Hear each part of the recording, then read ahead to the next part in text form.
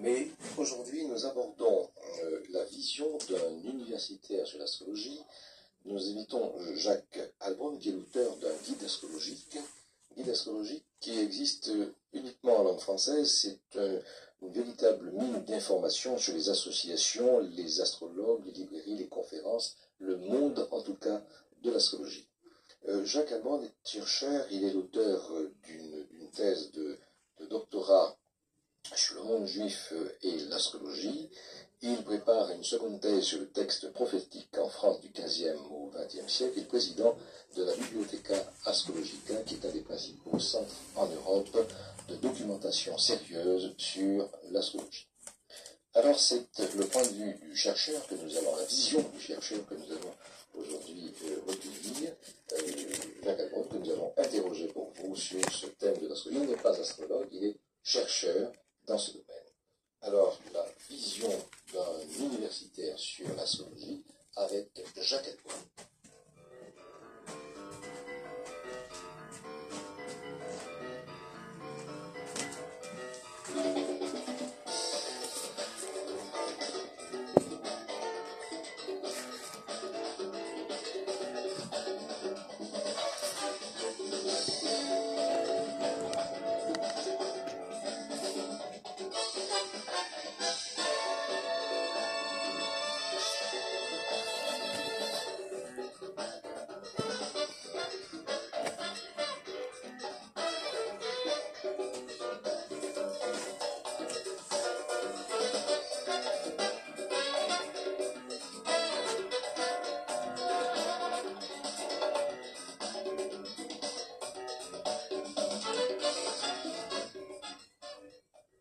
Jacques Albron, vous avez euh, rédigé, vous êtes l'auteur de l'article sur l'astrologie dans l'encyclopédie Universalis, je crois, et vous, vous observez depuis plus d'une trentaine d'années, euh, de l'intérieur et de l'extérieur, le monde curieux de l'astrologie.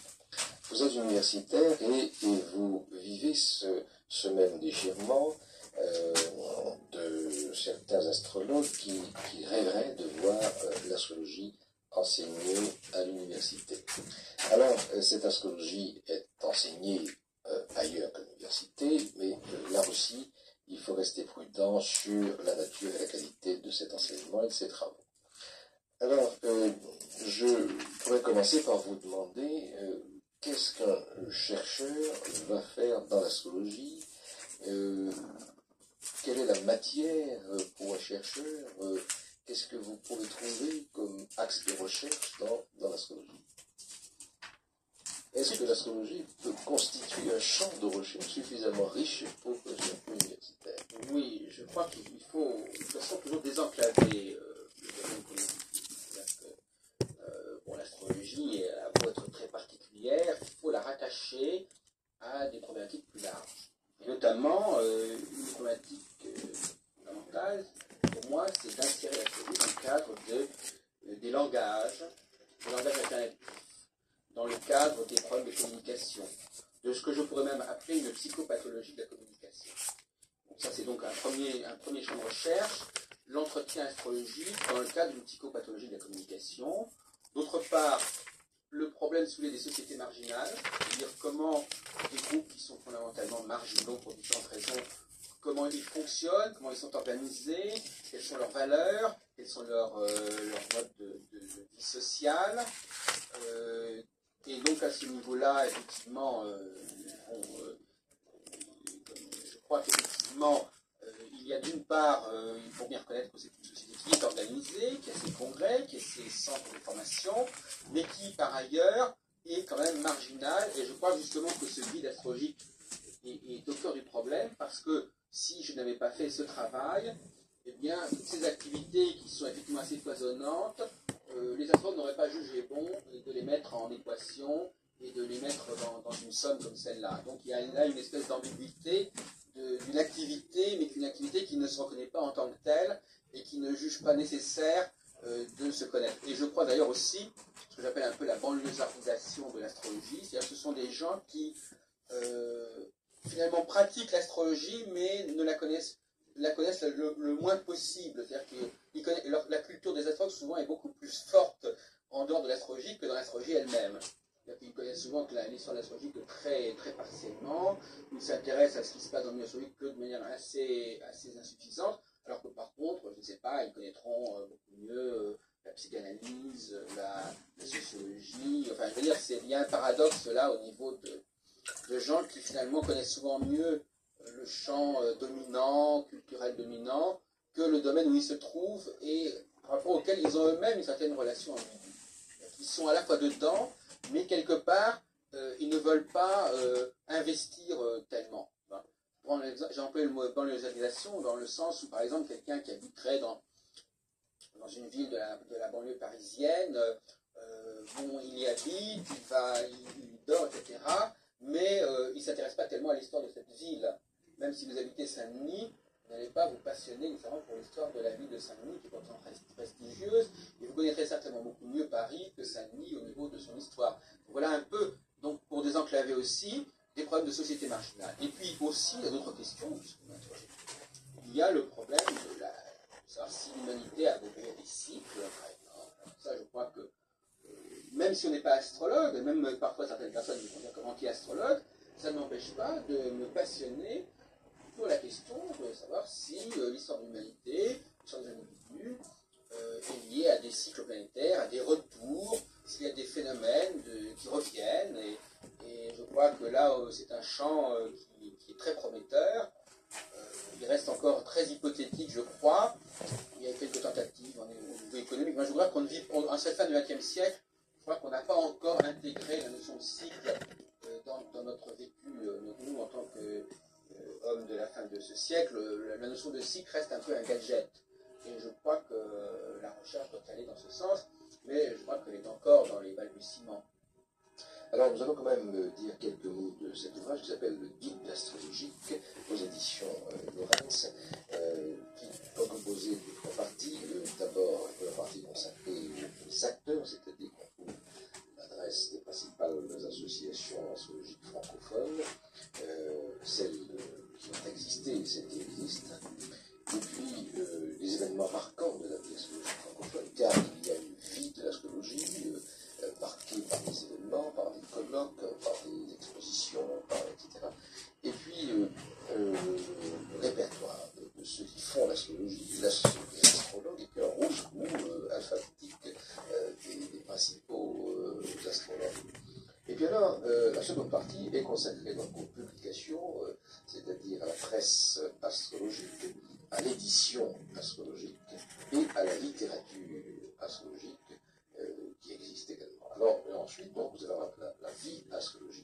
région euh, par région, avec les écoles d'astrologie, les réseaux de formation euh, nationaux, les librairies, les, lieux d'accueil, l'implantation dans les gens francophones, la vie astrologique hors zone francophone, et les congrès, les expositions et la liste des signes associatifs. Alors, euh, tout cela nous donne l'impression d'un monde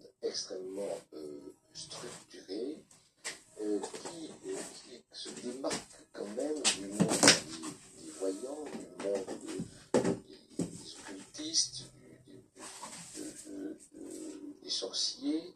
C'est un monde assez particulier. L'astrologie est organisé, n'est pas organisé en ordre, mais est organisé en syndicat, mais est organisé en association, en réseau, et, tout cela euh, euh, de façon très informelle et, constitué. Il y a des fédérations, même, il y a, des, des tentatives de fédération. Euh, bon, cela dit, c'est vrai que parfois c'est un peu fictif. Le même problème. Il y, a, bon, il y a des colloques, est-ce que ce sont des vrais colloques il se passe vraiment quelque chose, ou est-ce que ce sont des apparences de colloques, est-ce que ce sont des vraies écoles ou des apparences d'écoles, ou est-ce que ce sont des vraies associations Il y a toujours un problème pour ces groupes marginaux, je reviens à la notion de marginalité, on sait, il y a toujours une part d'imitation où on imite la forme, mais on n'assume pas réellement les exigences que, que ça implique. Donc, euh, euh, j'ai organisé quand même beaucoup de colloques, j'ai organisé une quarantaine, 75, mais c'est vrai que est-ce que ces colloques ont vraiment servi en tant que colloques ou est-ce qu'ils avaient des fonctions autres, comme des fonctions de revalorisation de la profession, comme des fonctions de, cohabitation entre astrologues, parce que c'est vrai, comme vous le disiez, que quelque part, on pourrait penser que c'est un métier très individuel. L'astrologue préfère pontifier devant son client, et le système associatif permet justement à tous ces, gens de, se rencontrer entre eux et de ne pas euh, faire chacun cavalier seul. Cela dit, est-ce que ça aboutit à une progression de la profession par rapport à, l'administration Est-ce que ça aboutit à former de meilleurs astrologues Est-ce que ça aboutit à ce qu'il y ait un véritable syndicat? Est-ce que ça aboutit à ce qu'il y ait une sorte de statut, euh, une sorte d'ordre des astrologues Non, c'est-à-dire qu'il y a il y a là, il faut, il faut savoir exactement, il faut pas prendre, comme on dirait, les vessies pour des lanternes. C'est un peu le problème de l'astrologie. Alors, euh, j'ai aperçu dans, dans, votre livre le nom de l'astrologue qui est très sympathique, qui est André Barbeau, euh, qui, qui dit souvent que pour être astrologue, il faut d'abord être astronome et être capable d'observer le ciel. Et alors, euh, on note cette insuffisance chez un certain nombre d'astrologues qui, ont, très peu de connaissances en astronomie. Et puis alors, dans ce milieu, on a l'impression que euh, ce sont des autodidactes. Donc, les astrologues se forment eux-mêmes ou auprès d'un auprès d'un maître, auprès d'un professeur qui leur donne les premières, les premières leçons. Et euh, c'est un milieu où on se forme à partir de, la pratique, à, partir des livres à peu près les mêmes livres, n'est-ce pas? Euh, D'autre part, il y a euh, des astrologies. On a l'impression que aussi euh, tous les astrologues ne pratiquent pas la même astrologie. Il y a les tenants de l'astrologie sidérale, il y a aussi des incursions qui sont faites par l'astrologie indienne, l'astrologie tibétaine. Les Occidentaux s'intéressent de plus en plus à cette astrologie orientale. Euh, je ne parle chinoise, qui n'est pas une astrologie mais un horoscope. On ne va pas parler d'astrologie parce que les astres n'interviennent pas tellement. Euh, donc, euh, quand on parle des astrologues, l'astrologie elle-même est extrêmement diversifiée dans ses méthodes. Oui, écoutez, je crois que ça n'est pas très grave. là, voyez-vous, moi, je ne veux pas du tout condamner cette situation. de même que les méconnaissances en astronomie, enfin moi, je, bon, c'est ma position, ne sont, pas, ne sont pas non plus très graves. C'est vrai que c'est une image, ça fait partie de l'image de marque de l'astrologie d'être fondée sur l'astronomie, mais dans la pratique, ça va être bien. Bon, ce que vous dites correspond plus à ce qu'on pensait il y a une trentaine d'années, où euh, il n'y avait pas encore d'informatique, où l'accès au calcul était encore compliqué. Aujourd'hui, il faut dire, on peut s'en plaindre, mais disons que l'accès à l'astrologie, la capacité de dresser un thème, devient quelque chose d'extrêmement banal, extrêmement simple, et donc on ne peut plus distinguer les astrologues par le fait qu'ils soient capables ou non de faire une carte du ciel. Ça n'est plus tellement pertinent, pas, puisque c'est maintenant c'est vraiment devenu un, jeu d'enfant avec l'informatique. Euh, en ce qui concerne cette diversité également des écoles d'astrologie, tout cela non plus n'est pas très grave, du point de vue qui est le mien, c'est-à-dire qu'en définitive, euh, pour nous situer dans le problème de la consultation et du métier d'astrologue, le métier d'astrologue euh, ne dépend pas fondamentalement euh, de ce que j'appellerais un savoir objectif de l'astrologie. C'est-à-dire qu'il est plus lié à une gestion de l'entretien, à une relation avec le client, à une façon de communiquer avec lui par un langage qui est un peu différent du langage quotidien. Et euh, le problème de la valeur informative brute de l'astrologie est pour moi un problème assez secondaire. Je, le dis tel que je le pense. Alors, euh, ce qui pose aussi le problème euh, des écoles d'astrologie, je crois qu'on peut vraiment avoir des écoles d'astrologie, mais ces écoles d'astrologie ne doivent pas s'axer sur un enseignement purement livresque et purement d'acquisition de connaissances, de positions planétaires, d'interprétation, etc. Mais qu'on devrait beaucoup plus préparer les, futurs astrologues à, euh, à, être prêts à gérer l'entretien astrologique. Ce qui n'est pas le cas. Ce qui n'est pas le cas parce que quand on regarde le programme des écoles d'astrologie, on s'aperçoit qu'on insiste énormément sur des notions purement euh, virtuelles, purement livresques, et qu'on euh, et qu'on ne, on ne, met pas le doigt sur ce qui va être en définitive le, rôle de l'astrologue et, et, sa, fonction première, qui est une fonction euh, de relation avec le client. Alors moi, c'est vrai que je relativise un petit peu la valeur intrinsèque de l'astrologie, je le reconnais. Euh, bon, moi, c'est aussi, vous savez, c'est toujours le même problème. C'est moi, c'est comme, ce que je dis, si vous voulez, est ambigu parce que à la fois, je justifie sa place dans la société, mais sa place dans la société n'est pas fondée sur son savoir objectif, mais sur le, le rôle qu'elle peut jouer, la fonction qu'elle peut jouer par rapport à une population de gens. Alors, la question que je crois qu'il faut poser, c'est qu'est-ce qu'on vient chercher, qu'est-ce que vient chercher un client quand il va voir un astrologue?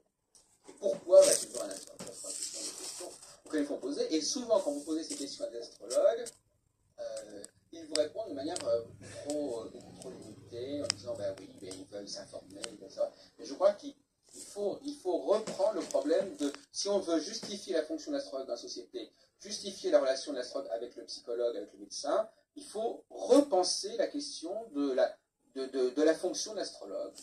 Pourquoi est-il là?